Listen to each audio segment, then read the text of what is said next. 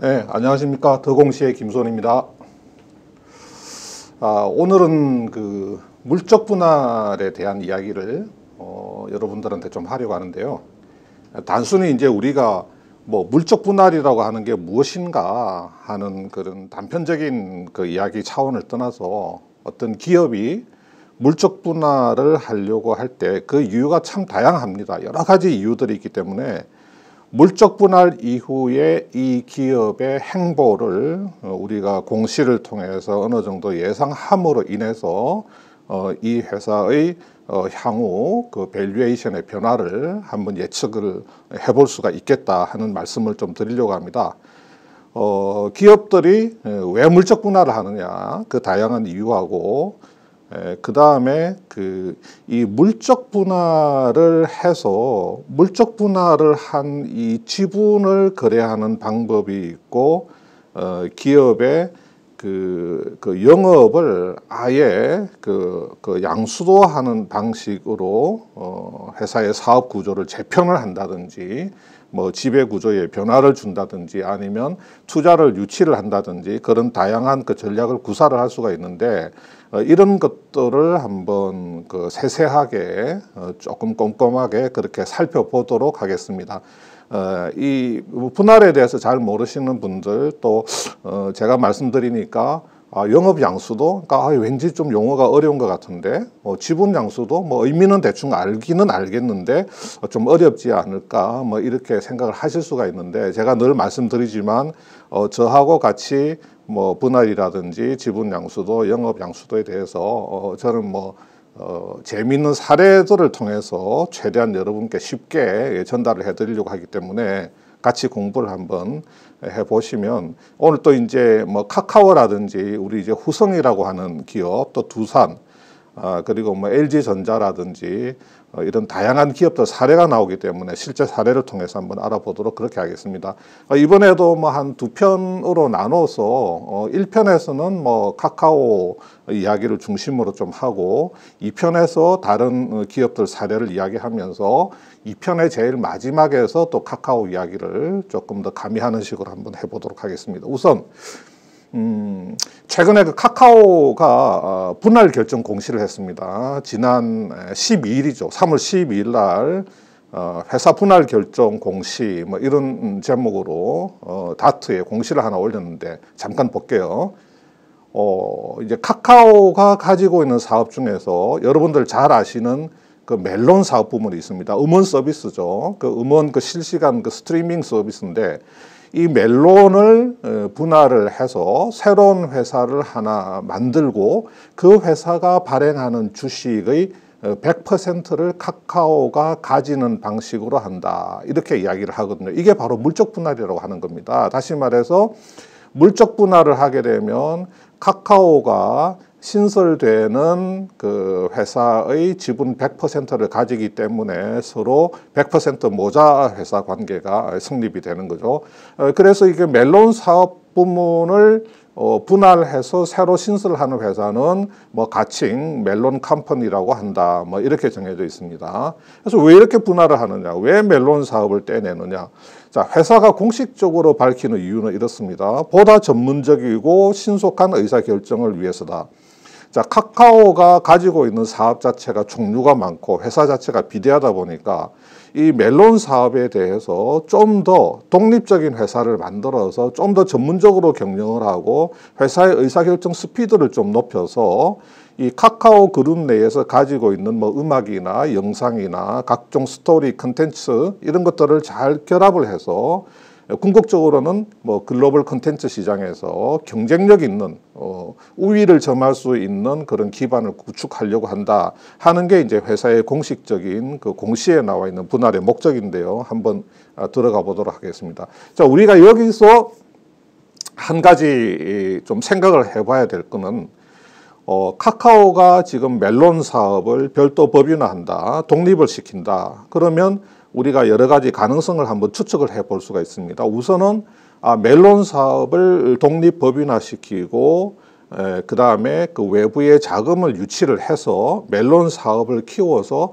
궁극적으로는 멜론 사업을 IPO를 시키려고 하느냐, 어, 증시에 상장시키려고 하는가 이런 생각을 한번 해볼 수가 있고요. 두 번째로는 어, 멜론 사업을 독립을 시켜서 일단은 독립을 시킨 다음에 별도의 회사로 만든 다음에 이 멜론 컴퍼니를 카카오 엔터테인먼트에 합병을 시킨다. 지금 카카오 엔터테인먼트라고 하는 회사는 제가 뒤에서 좀 더 자세히 설명드리겠지만 어, 올 연내에 뭐 회사를 상장을 시키겠다는 게 카카오의 방침이거든요. 그러니까 연내에 상장 예정인 카카오 엔터테인먼트의 이 멜론 컴퍼니를 어, 합병을 시켜서 이 카카오 엔터의 상장 valuation을 높이려고 하는 목적이 아니냐 어, 이런 뭐 추측들이 지금 나오고 있습니다.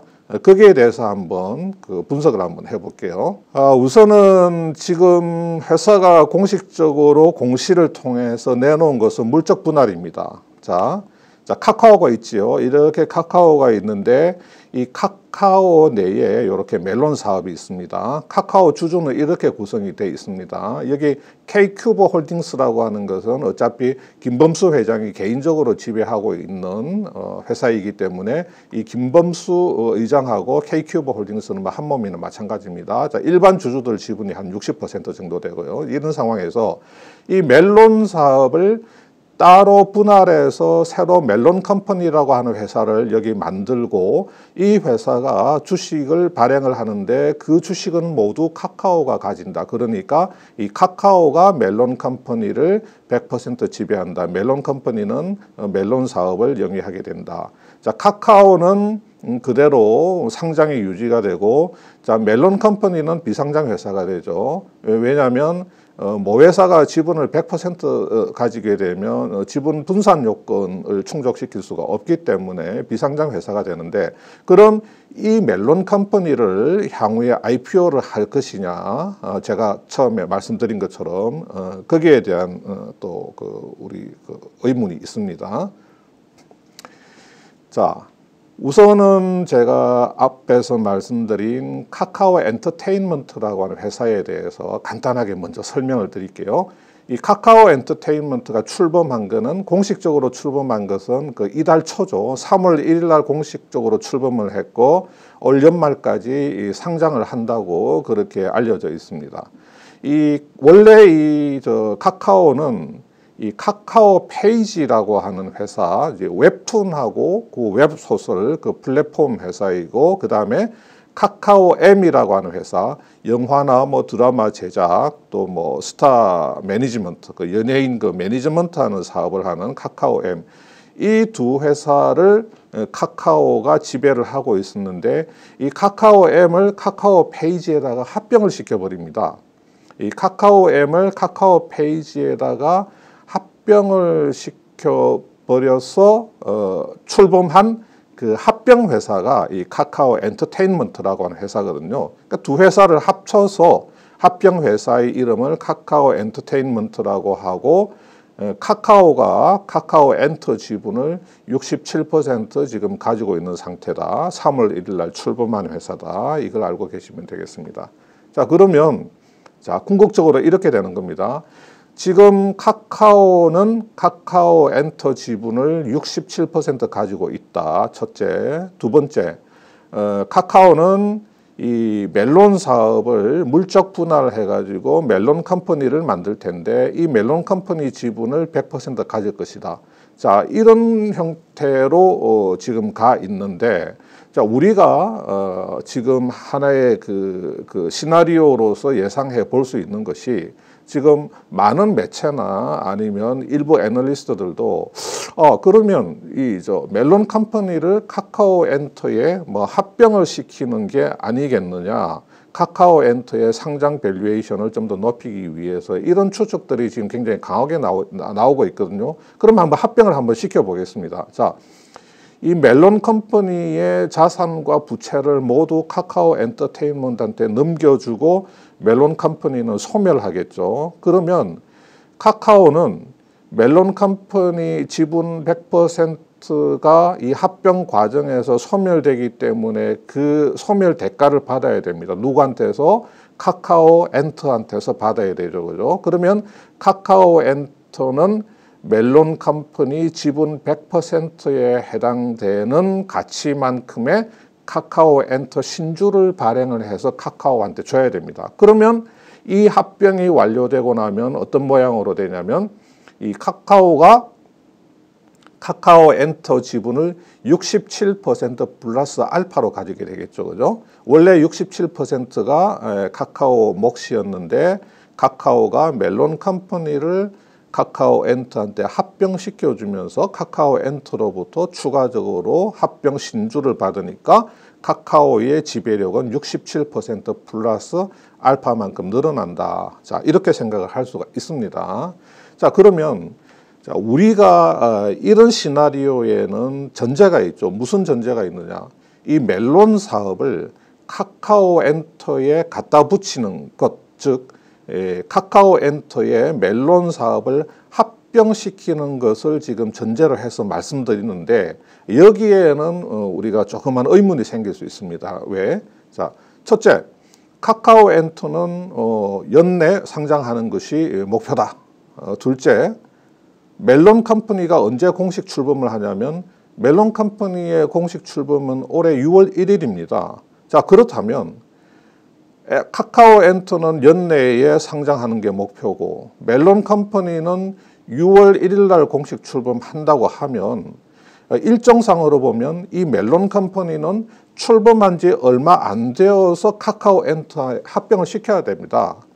카카오 엔터가 상장을 하기 위해서 상장 예심을 청구를 하고 증권 신고서를 뭐 작성을 해서 제출을 해야 되고 이런 전반적인 프로세스를 밟기 위해서는 멜론 컴퍼니가 6월 1일 날 공식 출범한다고 봤을 때 출범한 지 얼마 안 돼서 카카오 엔트한테 바로 합병을 시켜야 되는 그런 상황이라는 거죠.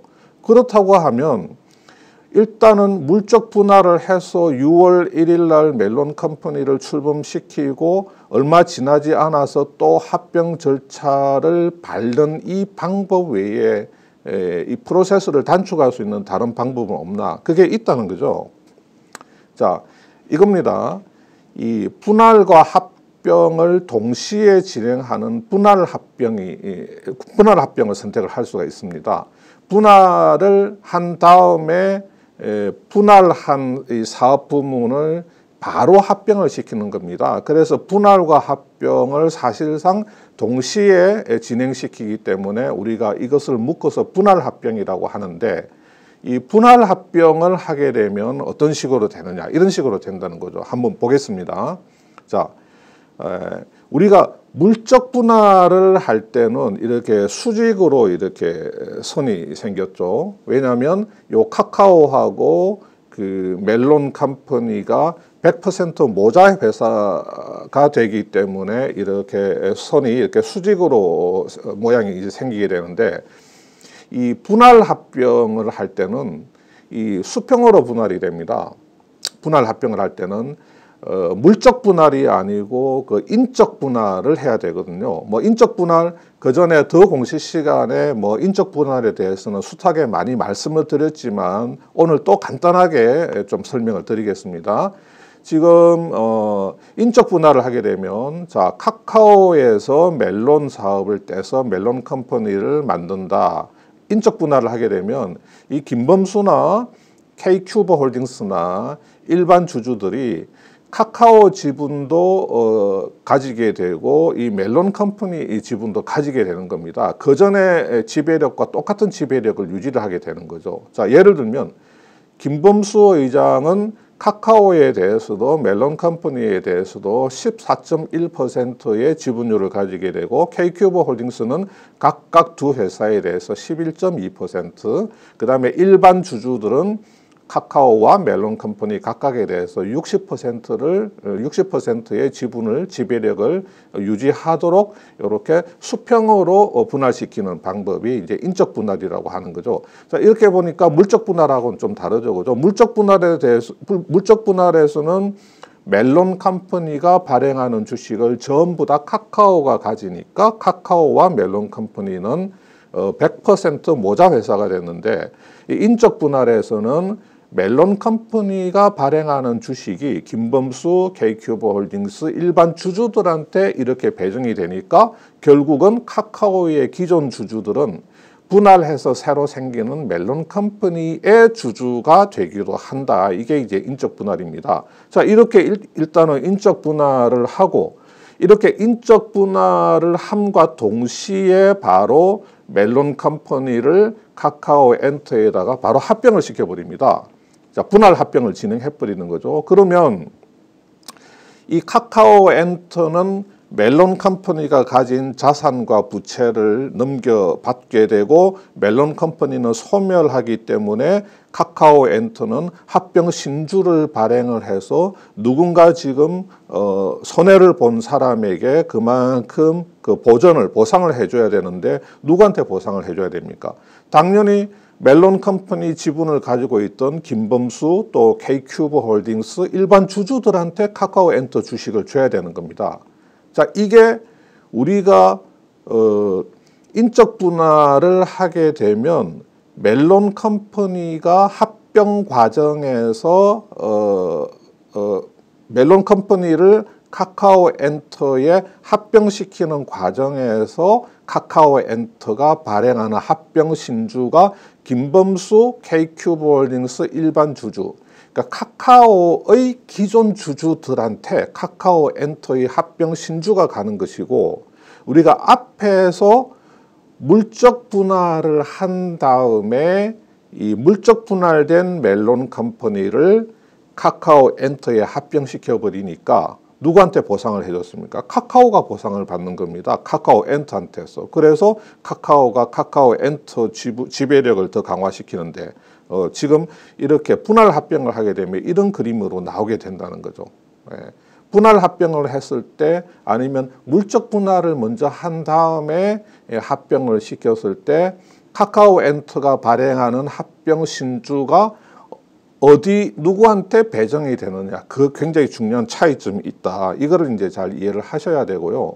자 그래서 결국은 분할 합병을 하게 되면 이 카카오 엔터가 카카오가 카카오 엔터의 주주이면서 이 카카오 엔터가 발행하는 신주가 또 김범수 K큐브 홀딩스 일반 주주들한테 소멸 대가로 배정이 되었기 때문에 또 이 사람들이 이 카카오 엔터의 주주가 된다는 거죠. 자, 이런 상태에서 IPO를 해야 되는데 여러분 한번 생각을 한번 해 보십시오. 자, 예컨대 카카오 입장에서는 어떤 생각을 할 수 있냐면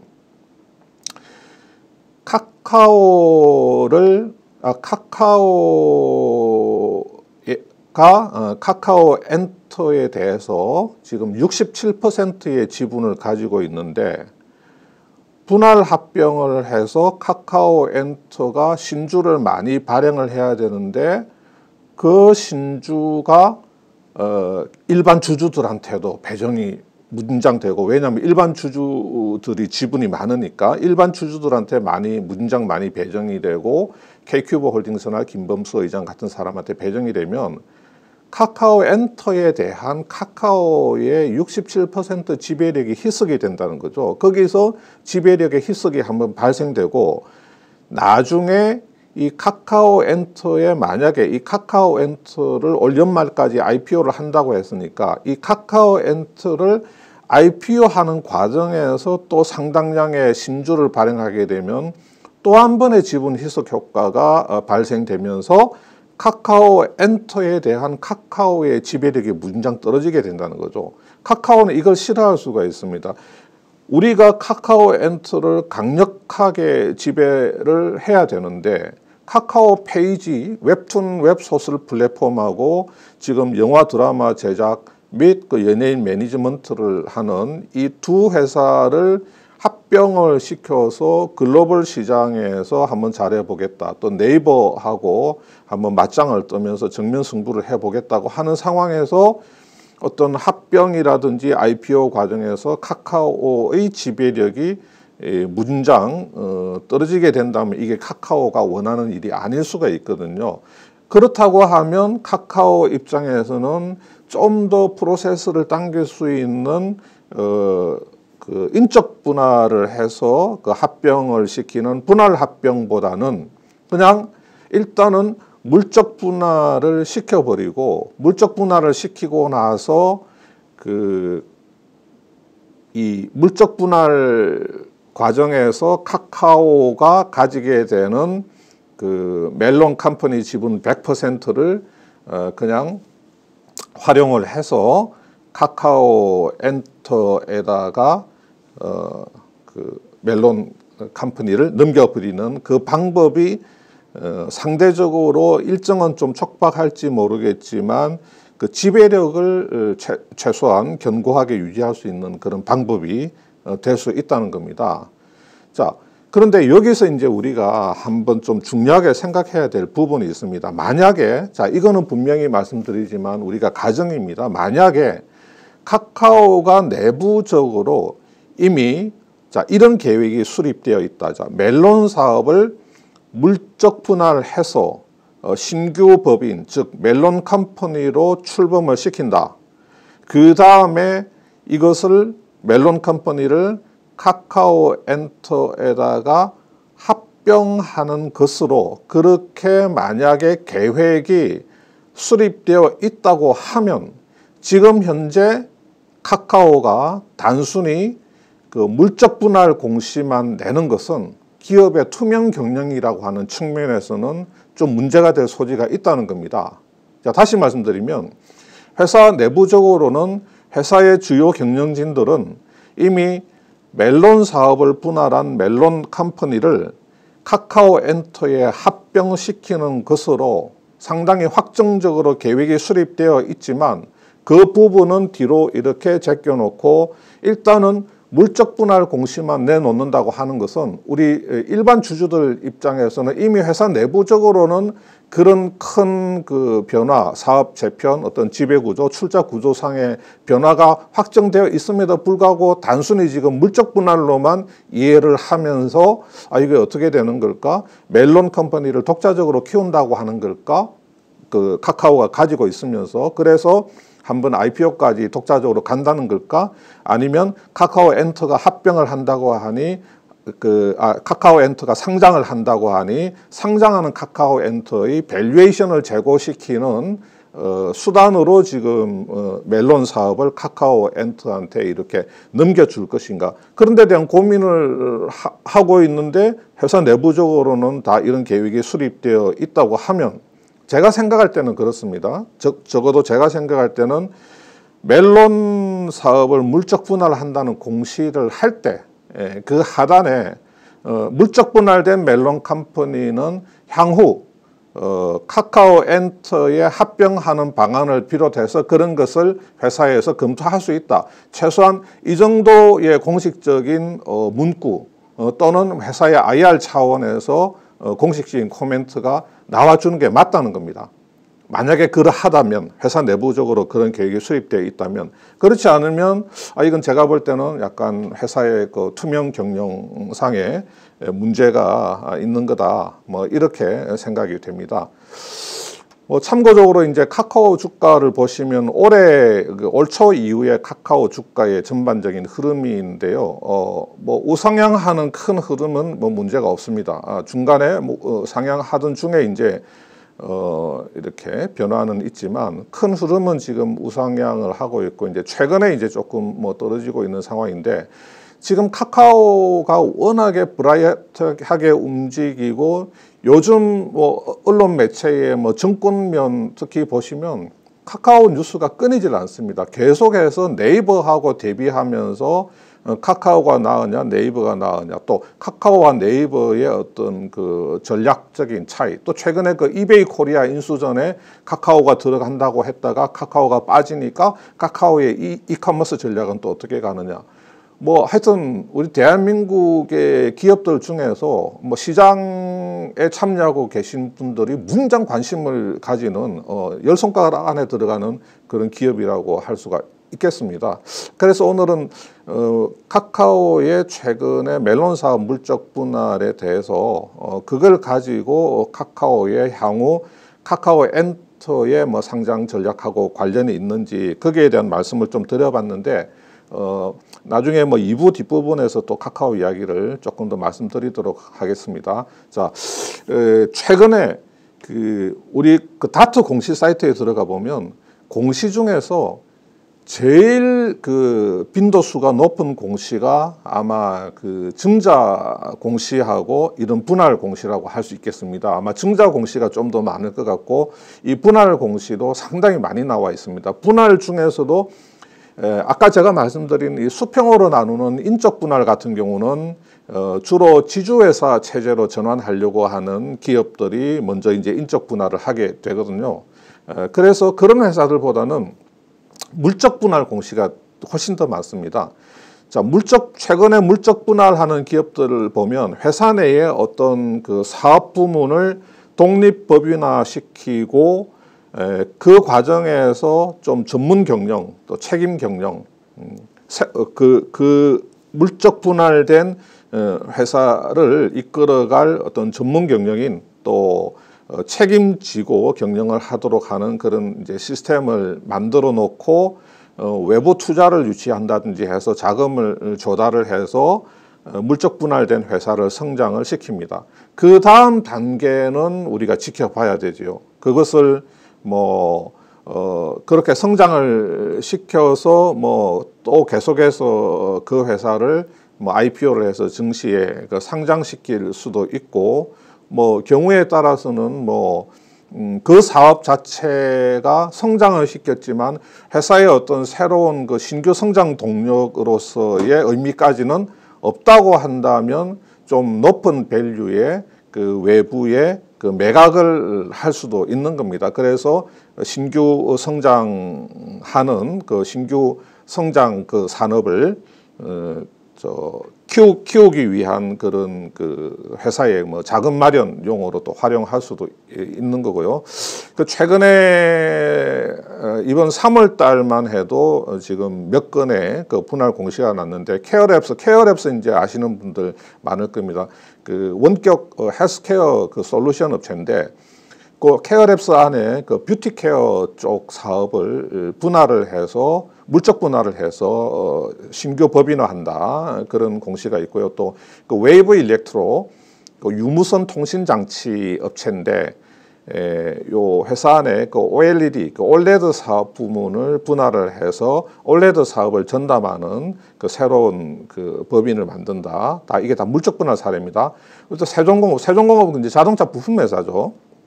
자동차 부품하고 일부 기계 제작을 하는 업체인데 설계 부분, 부품 설계하고 기계 설계 사업을 분할을 해서 새로운 법인을 만든다. 근데 새로운 법인 이름을 제가 공시를 이제 그 그때 잠깐 보니까 뭐 세종연구소, 뭐 세종공업연구소 이런 이름 특이한 이름이더라고요. 어쨌든 설계 부문을 분할을 해서 물적 분할해서 새로운 법인을 만든다. 그 다음에 어, 세원 어, 셀론텍 어, 화학 플랜트가 주력인 업체인데 그 바이오 사업이 좀 있습니다. 그러니까 생화학 뭐 물질 그쪽인데 그 바이오 관련된 사업을 분할을 해서 새로운 법인을 만든다. 뭐 이런 식으로 분할 공시가 많이 나오고 있습니다. 아, 그래서 이제 일단은 저 1부에서는 여기까지 좀 말씀드리고 제가 2부에 가면 그 최근에 그 후성이라고 그 불소 화합물 만드는 회사인데 조금 일반적인 그 물적 분할하고는 다른 특이한 형태의 이제 물적 분할을 한 또 사례가 있습니다. 그리고 어, 또 이제 두산 두산의 에, 그 지게차 어, 산업 차량 그 비지 비즈니스 그룹의 에, 분할 어, 거래가 있고 그다음에 과거에 제가 이제 한번 다뤄드렸던 LG전자의 그 전장 사업 그 분할 사례라든지 몇 가지 분할 사례를 가지고 회사가 왜 분할 물적 분할을 해서 어, 지분 양수도 거래를 선택하는지 또 어떤 회사들은 분할해서 지분 양수도를 하는 게 아니고 아예 그 사업 자체를 그냥 한 사 푹 떠가지고 다른 데 파는 선택을 하는 이유는 그게 뭐가 있는지 그런 것들에 대해서 어, 2부에서 한번 또 더 자세히 다뤄보도록 하겠습니다. 자, 1부는 여기까지 하고 1부는 마치도록 하겠습니다. 네, 감사합니다. 본 영상이 도움이 됐다면 구독! 안 되었어도 구독! 키움에서 해외 선물 거래하고 최대 295만원 현금 받으세요. 해외 선물은 원금 초과 손실 가능성에 유의하세요.